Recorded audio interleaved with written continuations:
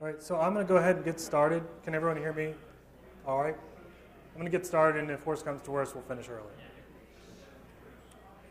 So, I wrote the proposal for this talk right after Why the Lucky Stiff disappeared himself.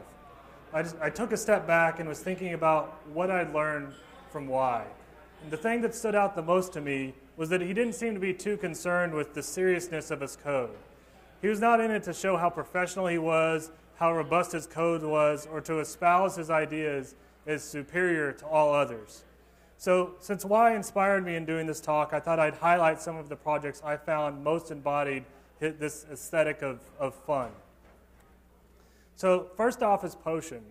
Potion is this nifty little language that Why created that was influenced by Lua in its implementation and by um, you know, um, JavaScript and uh, Ruby and Python in its syntax. I was a little surprised that Why decided to hack out his own little language. I had previously thought, thought that building a language was something that was fairly dry. Um, I mean, there's a reason that there's a, a web page on the internet where you have to decide which picture is of a serial killer and which picture is of a programming, programming language creator. Um, so they're usually present company excluded, cut from a very different cloth. But Why showed me how you could create a language and do this normally very dry thing, but still have fun and do it playfully. Next is just camping. So I followed the development of camping for a while and tried to figure out what the aesthetic of what Why was trying to do was. And, and you know, a lot of people wanted it to be a Rails competitor. A lot of people wanted it to be this big, uh, all-inclusive thing. But Why just kind of wanted it to be this tiny little framework for him to tap out little web apps and have fun with. Um, and he also wanted it to fit on a t-shirt. So he had this limitation that it only be 4,000 characters. So here you can see the t-shirt version of camping in its entirety. Uh, Why brought us plenty of other things too. There was Red, red Cloth, Hpricot, and Syck. The latter is of particular note to me um, I'm, very, I'm willing to bet that very few of us are eager to write a YAML parser and emitter. And yet, why did, and now most of us use it as part of MRI. So clearly, you don't have to do things that are traditionally considered fun in order to have fun. You can do things that lower the friction towards other people having fun, and you're still increasing the net amount of fun that can be had. So, a survey of Why's works is incomplete without mentioning his mixed media works. His presentations and shows, there were really more shows, at various conferences were amazing. And if you've missed any of them, find them on the internet. Um, the Poignant Guide is a touchstone of our community. Um, you, you're, you're likely to either love it or find it just a little bit wacky, but no one can discount the influence that Chunky Bacon and the cartoon foxes had in making our community one where a tongue placed firmly in cheek is welcome and encouraged. So, right before Why disappeared his works, he had lamented about the temporary nature of software. And it's true that hardly does the dust settle on the current hotness before the new hotness comes along and tries to supplant it. Um, but if you consider the notion of building one to throw away from the mythical man month, in software, we're used to the notion that writing code is a learning process. And it's not uncommon that we'll find that we can do a better job from a clean slate after we've worked through a problem domain and figured out what's really going on. But Why's code has showed us that software can outlive its useful life. Code can exist as something that makes you happy and as something that makes other people happy. So even if it's only in the act of reading it, not all software ceases to be useful after people are done executing it. So I encourage everyone to go check out uh, the Why mirror on GitHub. Just look through his code. You know, a lot of it's very playful. A lot of it's a little wacky, but it's, it's fun to read. So I just want to say thanks, Why. It's a very uh, great contribution. So back to the matter at hand. I got kind of concerned that the Ruby community was, was losing its, its sense of fun. As I was thinking of this proposal, I was struggling with my own work. Or more accurately, I was struggling with my lack of finished work. It had been months since I felt like I'd made something of consequence. Plenty of big ideas, but no finish. And through the lens of Why's, Why's work, I came to look at things from a slightly different angle. I started to think that maybe we've lost track of fun here in the Ruby community. I've observed a lot of consternation about whether Ruby's release management is good enough, whether its uh, GC is suitably comparable to other runtimes, or whether we're all just a bunch of weenies distracted by the newest shiny things. My point on this talk was going to be that we need to get back to having fun and rekindle that amazement we first felt when we typed some stuff in and made the computer do something different. But it turns out people are totally still having fun. They're making games, they're doing graphics, they're doing sound, they're doing things in the real world. Um, and so you've got people doing stuff like Ruby processing for doing graphics, and Ruby on Acid for doing even loopier graphics. People doing, um, you know, like Giles Bowkett and his generative sound stuff, and there's another talk on generative sound later. And uh, people doing Arduino and hacking hardware. So there's plenty of people doing completely impractical things. Um, and so I just wanted to highlight a few of them since I, since I had lost track of it. Um, so one of the people doing lots of fun stuff, and one of my heroes lately, is Greg Borenstein. He brought us a very clever way to write Ruby and run it on an Arduino. After a stint working on a music site called Grabit, he's now at NYU's ITP program, which is, called, which is sometimes called the Center for the Recently Possible. So he's there bringing his, ta- his talent for music, hardware hacking, software, and design to make really cool stuff and he's been cataloging it on his websites. Um, and I'm having a, a, fun time just seeing uh, how he takes the, his, his polymath nature. You know, I think he's really a good, great definition of someone who knows a whole lot about a lot of things and puts it all together in a great way. Um, so he's definitely having fun, and I'm having a lot of fun following it. Um, there's a lot of people doing uh, study groups, like the, uh, S, the uh, SICP group. So people are studying the Wizard book the book about the stru- uh, uh, structure and interpretation of computer programs. And uh, they get together in person on mailing lists and talk through solutions to the problems. And sometimes they even solve them in languages that aren't Scheme. So, they, you know, they're learning stuff, but they're having a lot of fun twisting their brains around learning new language. Um, and if number problems are more your thing, there's a site called Project Euler that has a bunch of um, ma- basically math problems that you would write a program to solve. And these are really great for bootstrapping yourself if you want to go learn a new language. So here you, I've got a Haskell program that I wrote to uh, solve one of the Project Euler pro- problems. Um, and it's, it's a really great way to get started with a, with a language that you want to learn but aren't sure where to get started. Or like Haskell, I can't write any Haskell programs that do I/O. So most of the programs I use, I use, I, I'm used to writing do some kind of side effects, but these are all just math problems, so it's very easy. Um, you can do uh, language hacking for fun. So Marc-Andre Cournoyer, the guy who wrote Thin, is having fun hacking on languages. Um, you can see some parts of his tiny Ruby here. He's written this uh, tiny uh, little interpreter that executes a very, very, very minimal subset of Ruby. Um, but if you check out his GitHub page, you'll find a plethora of little language experiments he's done. He even self published a book on how to join in the language hacking fund. Basically, everything he's learned, he's documented. And Charles Nutter is doing um, some very similar things with JVM languages. So, there, so those are some people having uh, what would be con- traditionally considered fun. But there are people doing things that are fun for them that most of us wouldn't consider fun. These folks are doing excellent work on virtual machines, asynchronous I/O frameworks, and improving the XML consumption landscape. So their work enables us to have more fun.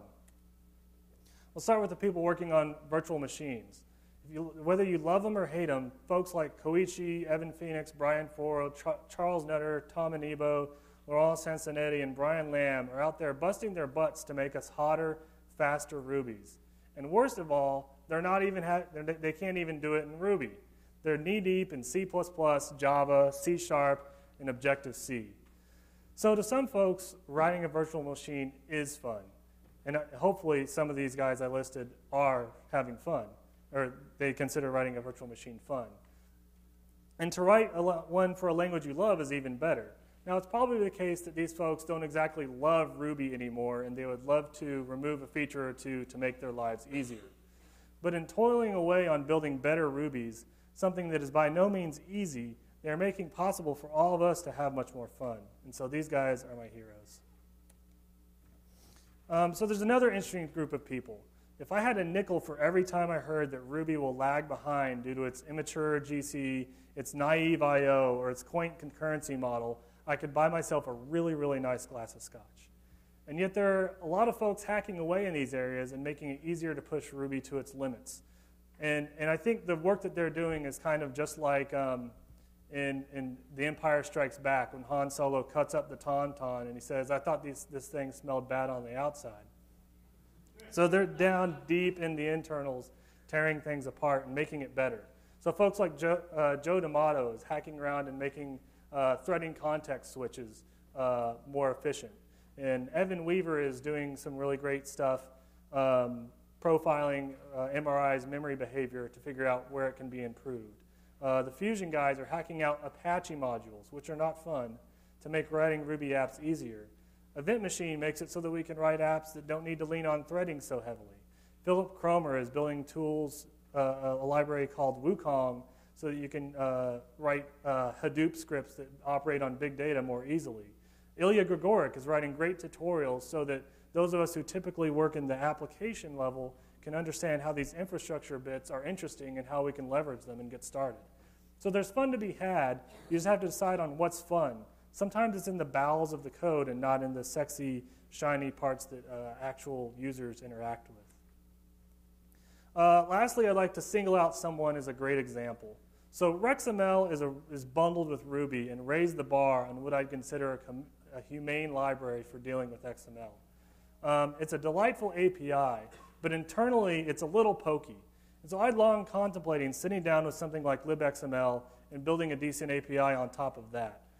I knew it'd be a net awesome for the Ruby community. But I didn't do it because, frankly, I want as little life, a little, as little XML in my life as possible. Because XML is like a Wookiee, and if you make it mad, it'll tear your arms off. So I decided not to do this because I didn't want to, I didn't want to make something and then abandon it because I hate it. But Aaron Patterson came along, did it, and has stuck with it. So now Ruby has an excellent library for dealing with XML, and it has more Aaron Patterson, and that's a win-win scenario.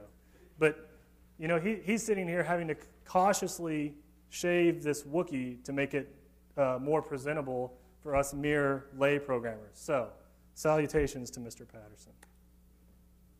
So, if you ever sat around thinking, man, I would love to work on a virtual machine, a system level library, or some thankless infrastructure bits, but that's not, to get, that's not going to get me on Hacker News, then think again. It might not get you on Hacker News, but who cares?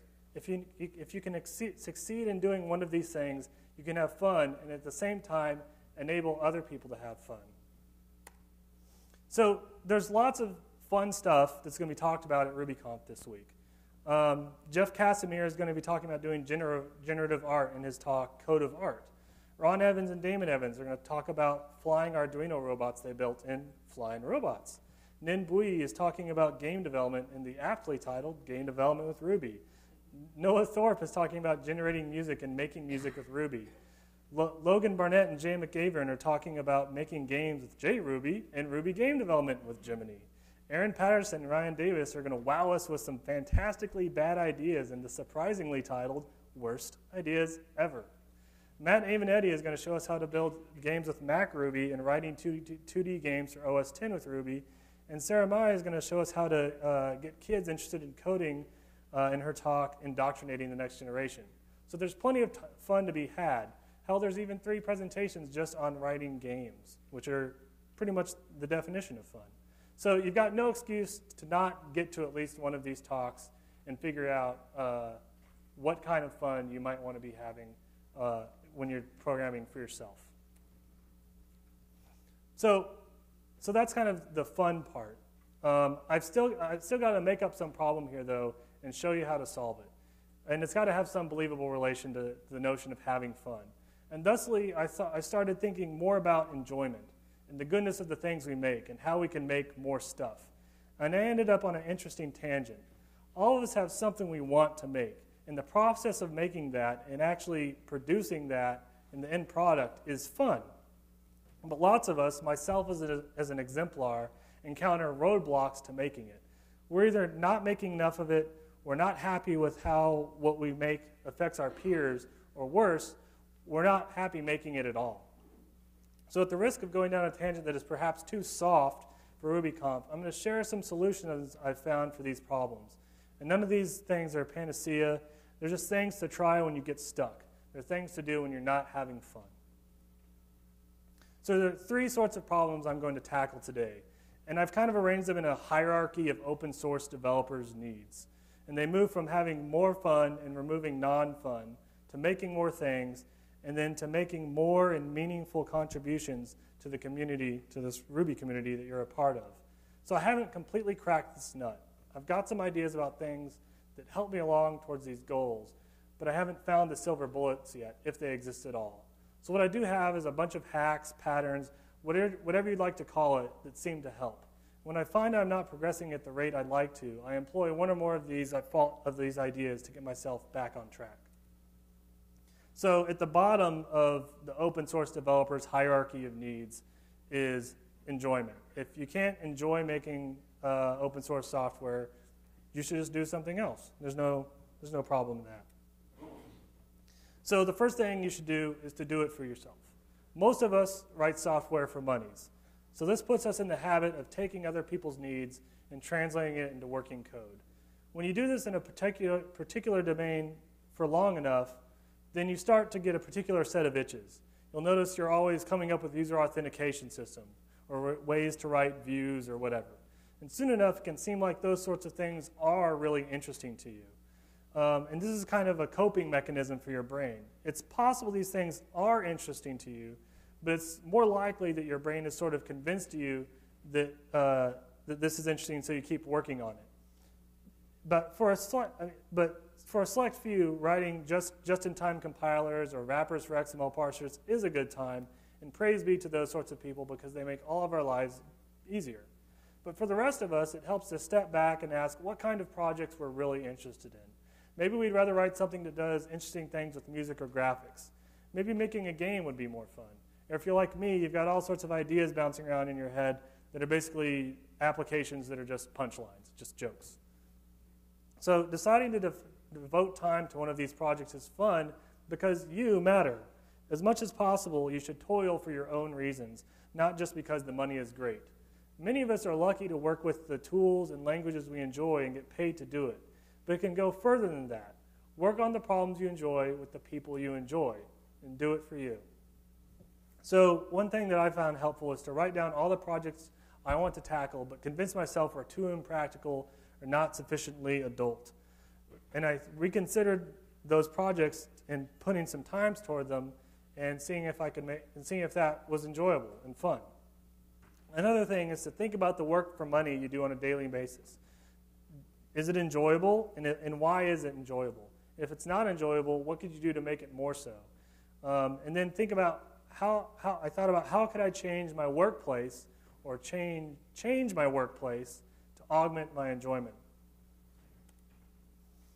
So, something really critical to any kind of creative endeavor is to not burn out. We all love thinking about the awesome things that will happen once we've shipped our projects.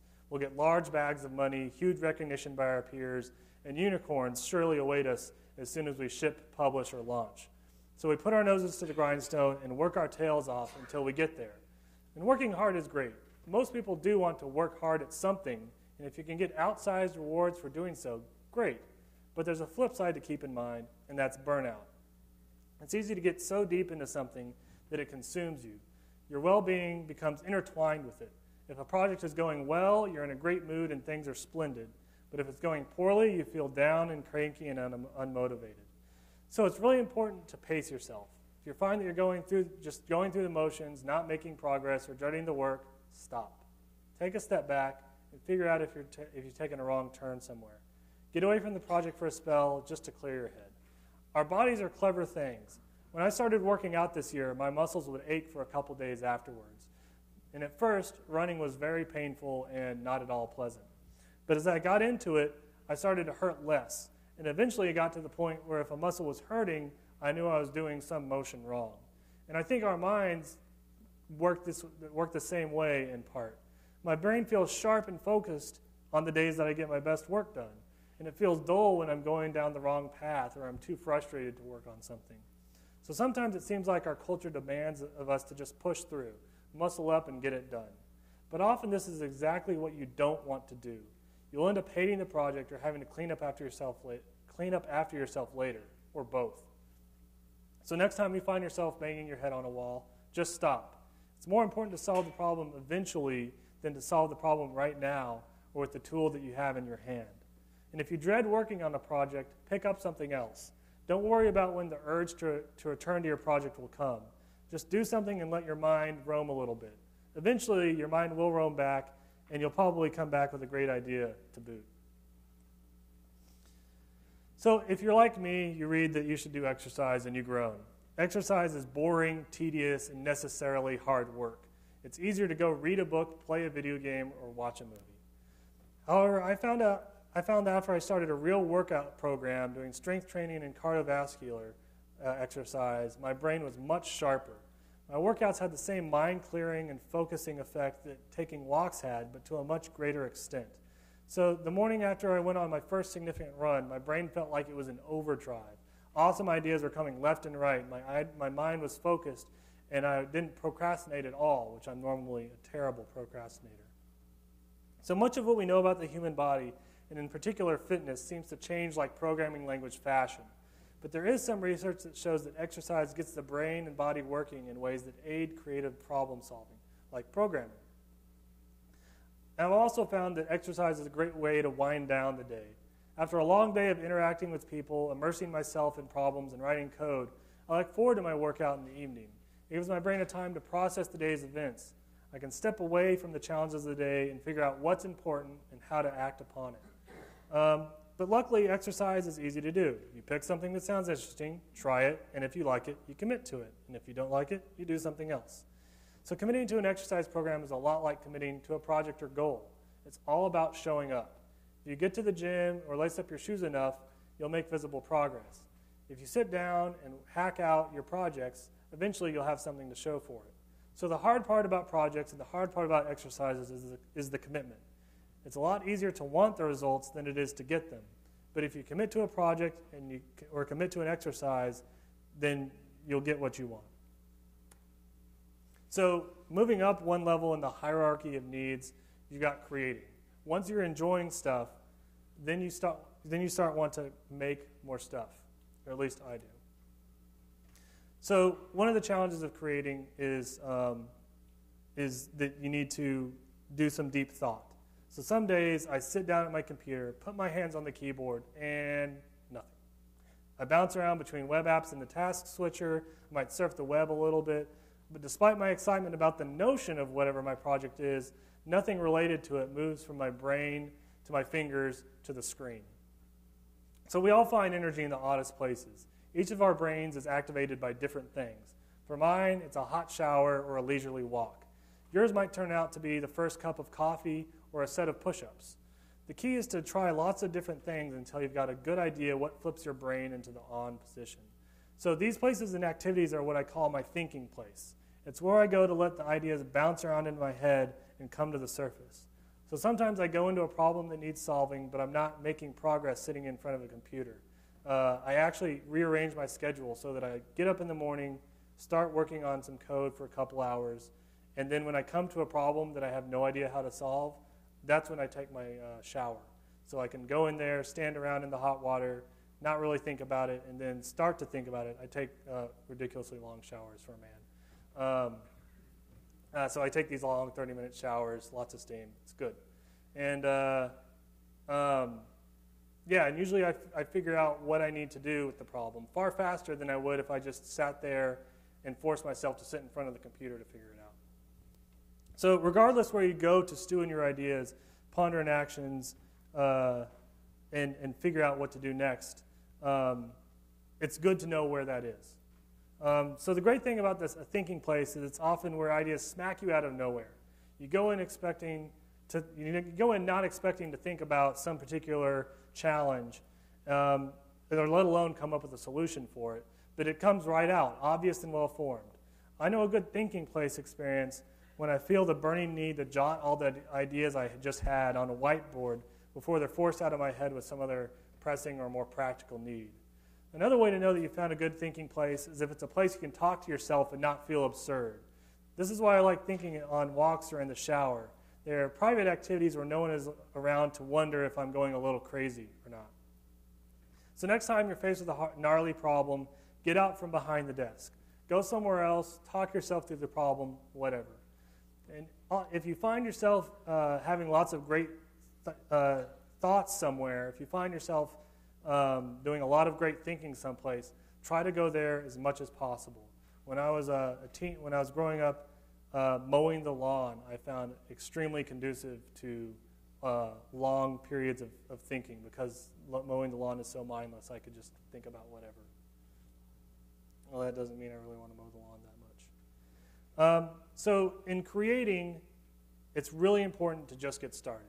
Procrastination is our enemy.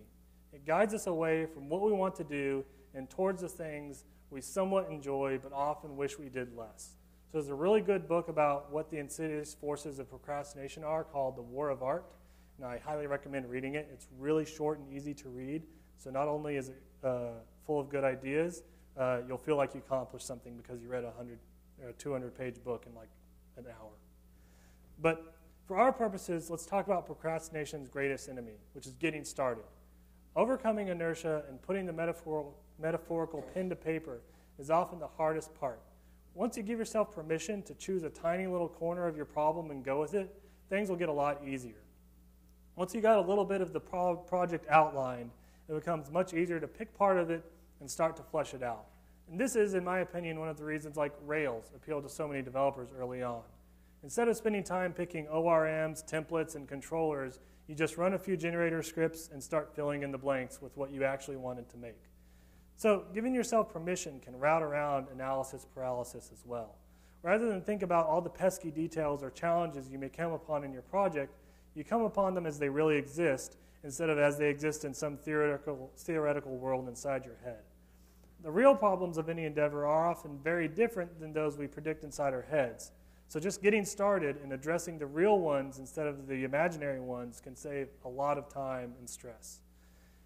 And the best thing about just starting is that you've started.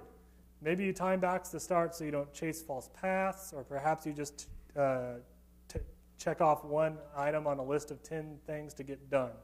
Sometimes it, it, happens you can solve the whole problem in one sitting, which is really awesome when it does happen. But no matter how you tackle it or slice it, once you're done, you can look at what you've done and say, well, it's a start.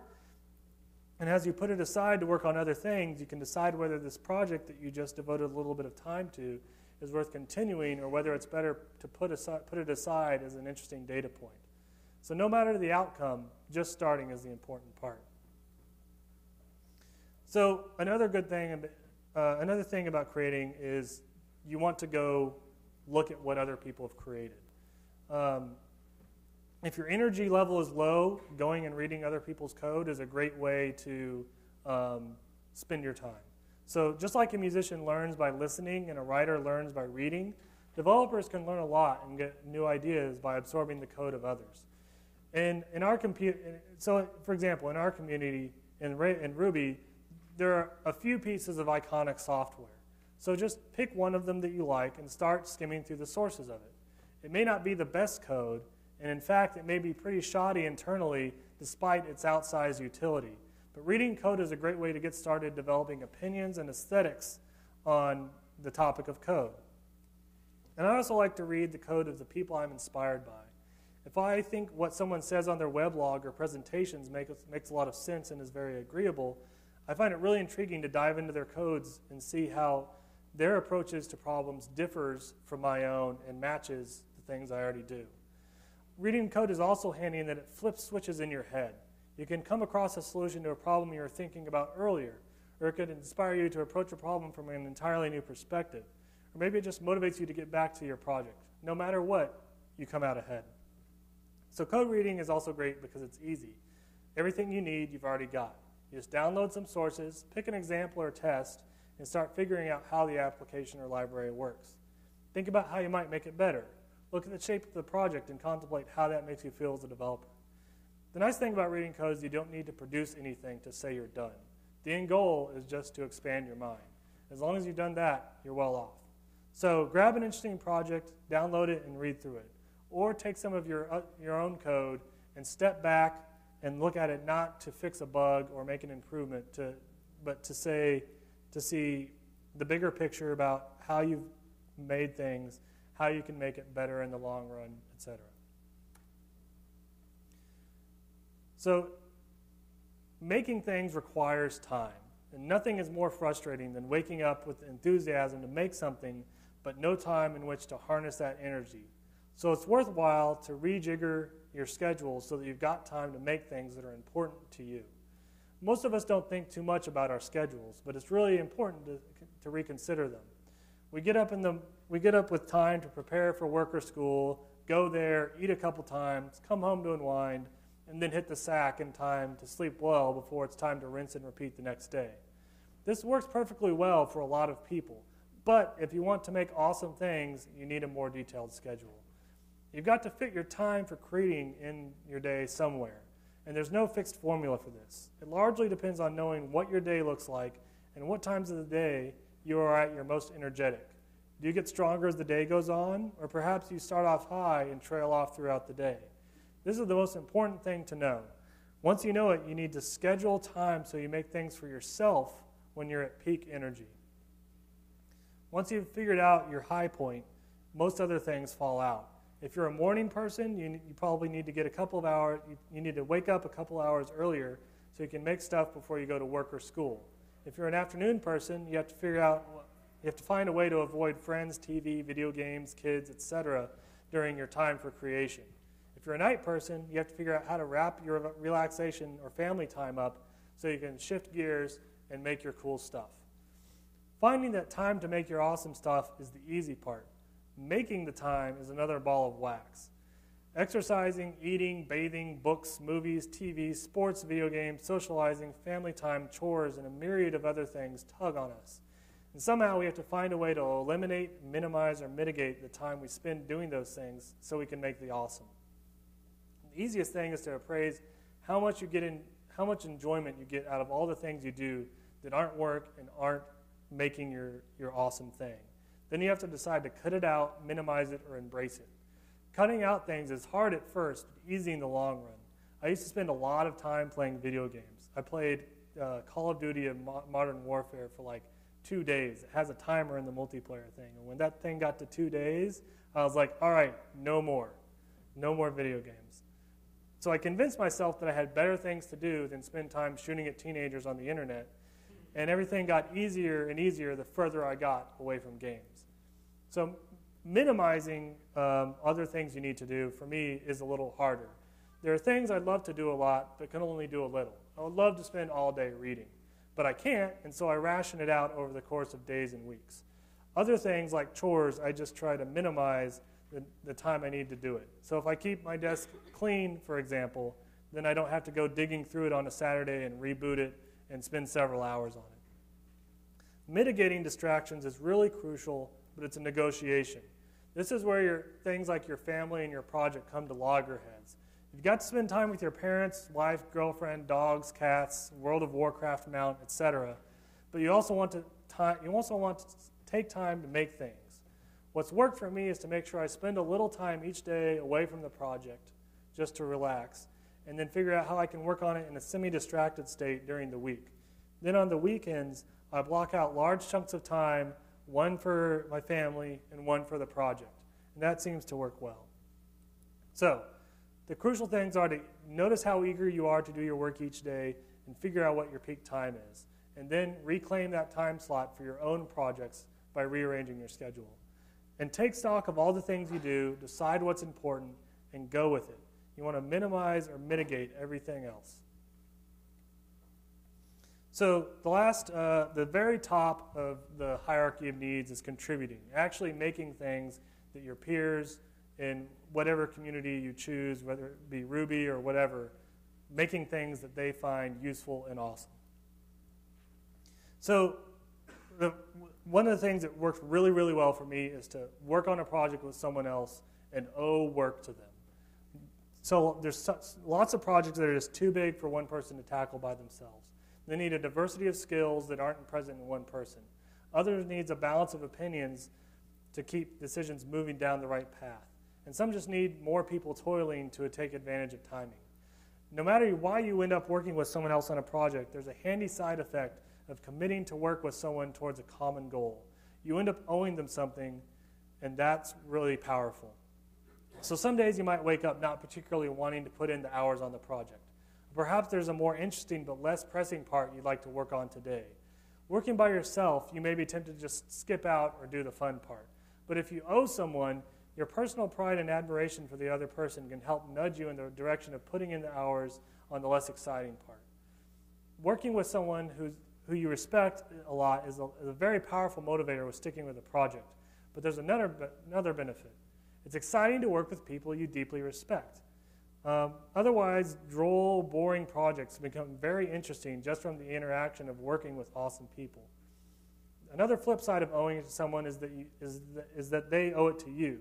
There will be days that you are un, uninspired by what you've accomplished lately, but the other person that you're working on the project with will come up with something that amazes you or energizes you.